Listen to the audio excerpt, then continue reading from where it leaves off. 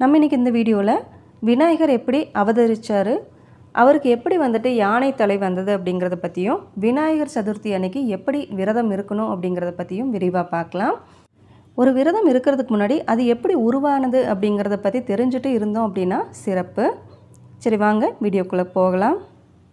சிவபெருமானுடைய பக்தனான கஜமுகாசுரன் தன்னுடைய கடன் தவத்தின் காரணமாக மனிதராலேயோ விலங்குனாலேயோ எந்த ஒரு ஆயுதத்தினாலேயோ தன்னை வந்துட்டு கொல்ல முடியாத அளவுக்கு ஒரு வரத்தை வந்து வாங்குறாரு. அந்த வரத்தை வாங்கினதுக்கப்புறமா மக்களை வந்துட்டு கொடுமைப்படுத்திட்டு வந்தார். கஜமுகாசுரனை வதம் செய்கிறதுக்கு தான் விநாயகர் வந்துட்டு உருவாக்கப்பட்டார். விநாயகர் பிறந்த கதையை பற்றி பார்க்கலாம். பார்வதி தேவி தனக்கு காவலாக வந்துட்டு ஒருத்தங்க வேணும்னு சொல்லி அவங்க வந்துட்டு எல்லாரையும் விட பலசாலியாகவும் இருக்கணும் அப்படின்னு சொல்லி அவங்க என்ன பண்ணுறாங்கன்னா சந்தனத்தால் ஒரு உருவத்தை வந்து பிடிக்கிறாங்க அந்த உருவத்துக்கு உயிரும் கொடுத்து அழகான ஒரு சிறுவனாக வந்துட்டு உருவம் எடுத்தவர் தான் விநாயக பெருமான். பார்வதி தேவி தான் குளிக்க போகிறதாவும் தான் திரும்பி வர்ற வரைக்கும் யாரையும் உள்ளே அனுமதிக்கக்கூடாதுன்னு அந்த சிறுவன்கிட்ட உத்தரவிடுறாங்க. அந்த நேரம் பார்த்து சிவபெருமான் அங்கே வர்றாரு. அவரை வந்து அனுமதிக்க முடியாதுன்னு சொல்லி சிறுவனான விநாயகர் வந்துட்டு தடுத்துடுறாரு. சிறுவனை எதிர்க்க பிடிக்காத சிவபெருமான் தன்னுடைய கணங்கள் கிட்ட சொல்லி அந்த சிறுவனை அந்த இடத்துல இருந்து அப்புறப்படுத்த உத்தரவிடுறாரு. ஆனால் அந்த சிறுவன் வந்துட்டு தன்னுடைய அபார ஆற்றலால் கணங்களை வந்துட்டு தோற்கடிச்சிடுறாரு.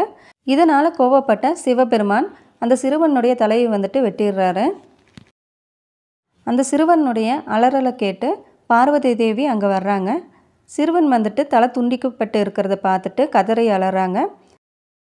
சிவபெருமானை பார்த்து தன்னுடைய பிள்ளையை மீட்டு தர சொல்லி கேட்குறாங்க சிவபெருமான் அந்த சிறுவனுடைய உயிரை வந்து மீட்டு தந்துடுறாரு. ஆனால் அந்த தலை வந்துட்டு திரும்பவும் சேராது அப்படின்னு சொல்லி சொல்லிடுறாரு.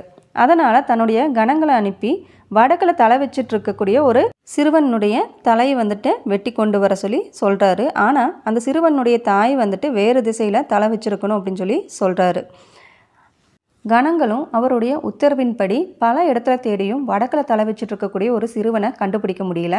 அதனால் வடக்கில் தலை வச்சுட்டு இருந்த சிறு யானையினுடைய தலையை கொண்டு வந்து சிறுவனான விநாயகர் பெருமானுடைய உடலில் பொருத்திடுறாங்க. அதையடுத்து அனைத்து தெய்வங்களுடைய அருள் கிடைக்கிறதுக்கு எந்த ஒரு சுபகாரியமாக இருந்தாலும் வழிபாடாக இருந்தாலும் விநாயகரை முதல்ல வணங்க வேண்டிய கடவுளாக அருள் பெறாரு. விநாயகர் அப்படின்னா தனக்கு மேல் ஒரு தலைவன் இல்லாதவர் அப்படிங்கிறது பொருள். ஆவணி மாதம் வளர்பிறை சதுர்த்தி தினத்தில் அவதரித்த நம்ம விநாயகரை வந்துட்டு கஜமுகாசுரனை வந்துட்டு அழிக்கிறதுக்காக அனுப்பி வைக்கப்படுறாரு. ரெண்டு பேருக்கும் நடுவில் கடுமையான போர் வந்து நடக்குது. கடைசியில் விநாயகர் வந்துட்டு தன்னுடைய ஒரு தந்த கொம்பை வந்துட்டு உடைச்சி அதை ஆயுதமாக்கி கஜமுகாசுரனை அழிச்சிடுறாரு. விநாயகர் வந்துட்டு அவதரித்த அந்த நாளை தான் விநாயகர் சதுர்த்தியை நம்ம கொண்டாடிட்டுருக்கோம். விநாயகர் சதுர்த்தி விரதம் இருக்கிறதுனால காரிய தடைகள் அனைத்துமே வந்துட்டு விலகிடும். அதோட பிள்ளை பாக்கியம் இல்லாதவங்களுக்கு பிள்ளை பாக்கியம் வந்துட்டு கிடைக்கும். நாம் வேண்டின காரியங்கள் அனைத்துமே நம்மளுக்கு வந்துட்டு கைகூடும். விநாயகர் சதுர்த்தி விரதத்தை வந்துட்டு எப்படி இருக்கணும் அப்படிங்கிறத பற்றி பார்க்கலாம். விநாயகர் சதுர்த்தி விரதம் கடைபிடிக்கிறவங்க அன்னைக்கு விடியற்காலையிலேயே வந்துட்டு எந்திரிச்சு குளித்து பூஜை அறைக்கு வந்துட்டு கோலமிட்டு பூஜைக்கான ஏற்பாடுகளை வந்து செய்யணும். புதுசாக வாங்கின விநாயகர் சிலையை ஒரு தலைவாழை இலை விரித்து அது மேலே பச்சரிசியை வந்து பரப்பணும். அதுக்கு மேலே விநாயகரை வந்து வச்சு அருகம்புல் எருக்கம்பூ அப்புறம் பூ மாலைகள் இதெல்லாம் வந்து போட்டு அலங்கரிக்கணும். விநாயகரனுடைய ரெண்டு பக்கமும் சிறிய வாழை மரங்களை வந்து வைக்கணும். அவருக்கு முன்னாடி வாழை இலையில் அவருக்கு பிடித்த கொழுக்கட்டை மற்ற பலகாரங்கள் தேங்காய் வாழைப்பழம் அப்புறம் மற்ற பழங்கள் எல்லாம் வந்து வச்சு வழிபடலாம். விநாயகருக்கு சந்தன குங்குமம் எல்லாம் வச்சு தீபதூபங்கள் எல்லாம் வந்து காட்டி வழிபடணும். அவருக்கான மந்திரங்கள் போற்றி பாடல் இதெல்லாம் வந்துட்டு பாடணும்.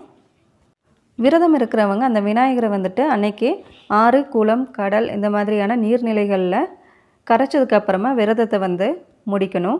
அப்படி இல்லை அப்படின்னா அந்த விநாயகர் சிலையை வந்துட்டு நீர்நிலைகளில் கரைக்கிறதுக்கு போகிறவங்க கிட்ட கொடுத்து அனுப்பலாம்.